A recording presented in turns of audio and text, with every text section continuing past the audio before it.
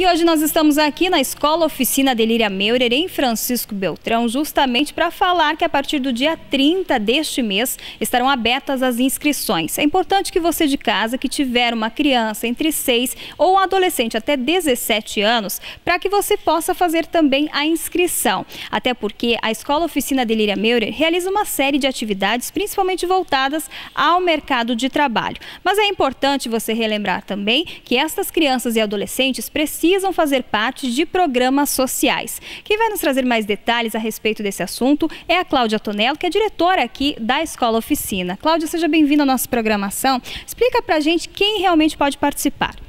Então, a nossa escola ela desenvolve um trabalho socioeducativo no contraturno da escola regular. Então, as crianças e adolescentes que participam do nosso programa, eles podem frequentar no horário contrário da escola, são crianças de 6 a 17 anos, né, juntamente com os adolescentes, e eles podem vir se matricular então aqui conosco para estarem frequentando as nossas atividades que nós ofertamos. Inclusive, já ressaltando que nós temos o programa menor aprendiz que encaminha esses jovens, né, adolescentes de 14 a 17 anos para o mercado de trabalho. Quais seriam as principais atividades desenvolvidas aqui, além do programa Menor Aprendiz?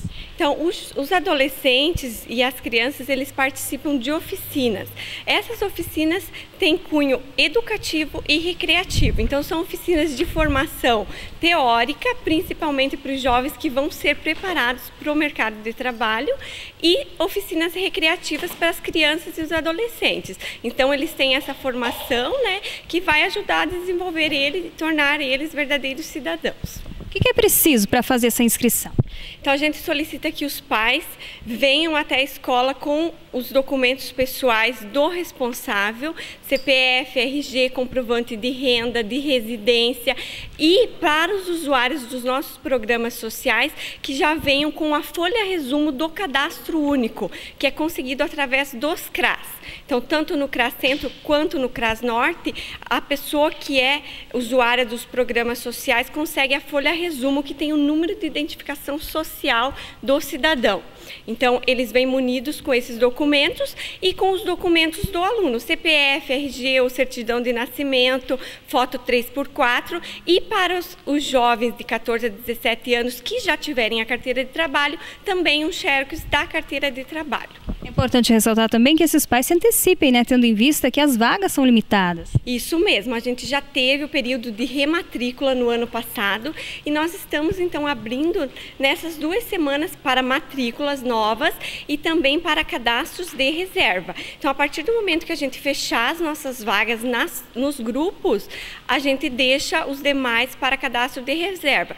Principalmente os grupos maiores, que são os adolescentes, têm uma rotatividade grande, porque que conforme eles vão saindo para o mercado de trabalho, vai surgindo essas novas vagas, a gente vai incluindo o pessoal do cadastro de reserva. Então, nosso objetivo principal é acolher esses alunos com todo o carinho, com todo o espaço que nós temos disponível. Então, estamos fazendo, então, algumas reformas pequenas agora no início, mas daqui a uns dias já temos alguns projetos que será reformado é, mais o nosso espaço aqui.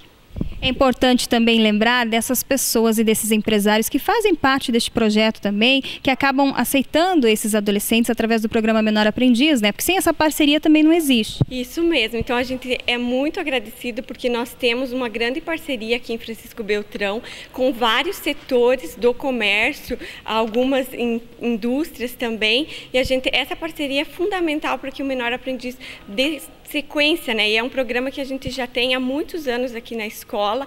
É uma parceria da APMF e da Escola Oficina, juntamente com a Secretaria de Assistência Social e a Prefeitura Municipal.